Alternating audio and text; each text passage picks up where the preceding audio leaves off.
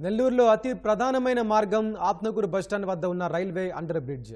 Collectorate SP కార్యాలయం జిల్లా పరిషత్ కార్యాలయం వందలాది దుకాణాల సముదాయమైన స్టోన్ హౌస్ పేటకు వెళ్ళాలంటే ఈ వంతెన కింద నుంచే రాకపోకలు సాగించాల్సి ఉంటుంది.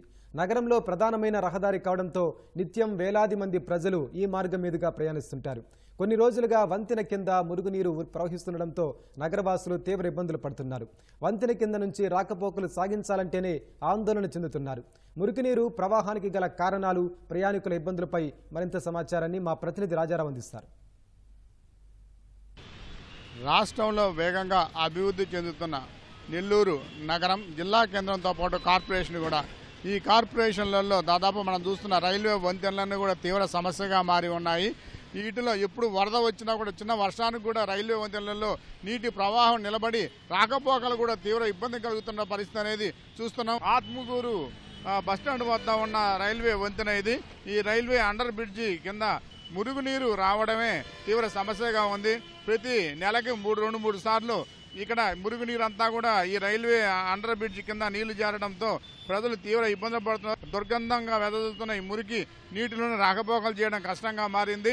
అయితే ఇది ఈ మురికి మురికి నీరంతా కూడా పొగ ఉన్న హాస్పిటల్స్ నీరుతో పాటు వ్యర్థాలు మురుగు కాలువల్లో నుంచి నీరు ప్రవాహం అంతా కూడా సక్రమంగా పోయే మార్గం లేక మురుగు కాలువలు అన్నీ కూడా పూర్తిగా పూడికలతో నిండిపోవడం వల్ల ఈ మురుగు నీరంతా కూడా బయటికి పోలేకపోతుంది. దీంతో ఇదంతా కూడా బయటకు వచ్చి రైల్వే అండర్ పాస్ కింద మొత్తం కూడా పెద్ద వరద ప్రవాహంలాగా మారింది. ఎక్కువ ద్విచక్ర వాహనాల మీద పోయే వారందరూ కూడా బట్టలన్నీ కూడా మురికి నీళ్ళతో తడిచిపోతున్నాయి. అందులో అక్కడి నుంచి నడిచి వచ్చే వాళ్ళ పరిస్థితి మరీ దారుణంగా ఉంటుంది.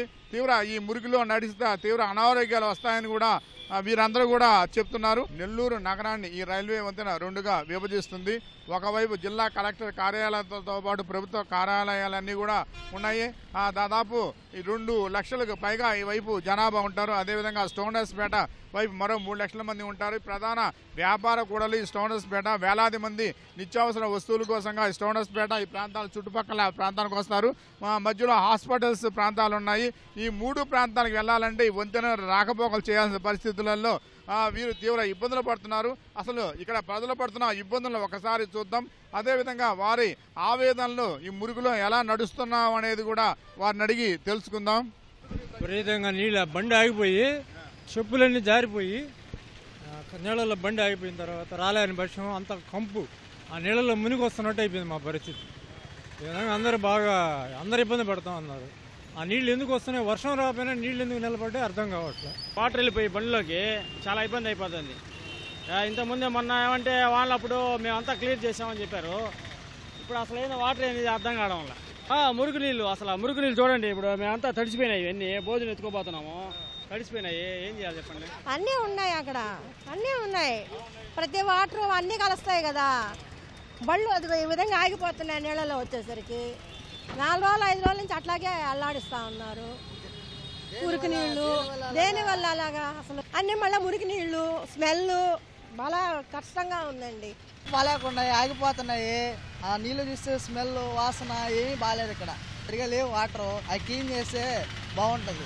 ఈ main drainage underground drainage కంప్లీట్గా కానీ నెల్లూరులో బాగు చేస్తే నెల్లూరు సిటీ చాలా డెవలప్మెంట్ అందరూ మెచ్చుకుంటారు. ఎందుకంటే మనకు రోడ్లు నిత్యం ప్రతిరోజు చాలా మంది పేదలు ఎక్కువగా తిరిగేది రోడ్ల మీద నడిచి సైకిల్ మీద ఇట్టప్పుడు ఆ మురికి నీళ్ళలో తిరగాలంటే ఎన్ని రకాల జబ్బులు వస్తాయో తెలియదు.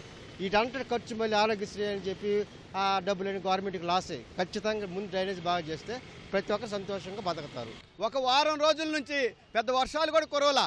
దాంతోపాటు అండర్ అండర్ గ్రౌండ్ డ్రైనేజీ ఆ నేలల్లో కలిసిన దాని కారణంగా ఈ విధమైనటువంటి పద్ధతుల్లో ఈరోజు మరీ దరిద్రమైనటువంటి పరిస్థితికి ఈరోజు మన అండర్ గ్రౌండ్ బ్రిడ్జీలు తయారైనాయి. నెల్లూరు నడిబుడ్డులో ఉండే ఈ రైల్వే వంతెన మురుగుతో నిండిపోవడంతో ప్రజలు కూడా తీవ్ర ఇబ్బందులు పడుతున్నారు. దాదాపు రోజుకు వేలాది మంది ఇటు ఈ మురికి నుంచి కూడా రా బయటికి రావాల్సి వస్తుంది. దుర్గంధంతో ఇక్కడ తీవ్ర ఇబ్బందులు పడుతున్నామని చెప్పి కూడా నెల్లూరు నగర ప్రజలందరూ కూడా చెప్తున్నారు. ఈ నీళ్ళల్లో మురుగు నీళ్ళల్లో నడిస్తే అంటువ్యాధులు వస్తాయని చెప్పి వారు ఆవేదన వ్యక్తం చేసిన పరిస్థితి ఇక్కడ మనం చూస్తున్నాం. అయితే ప్రతిసారి కూడా వాహనాలు మోటార్ సైకిల్ అన్నీ కూడా నిలిచిపోవడంతో ట్రాఫిక్ కూడా తీవ్ర ఇబ్బందికరమైన పరిస్థితి ఏర్పడింది.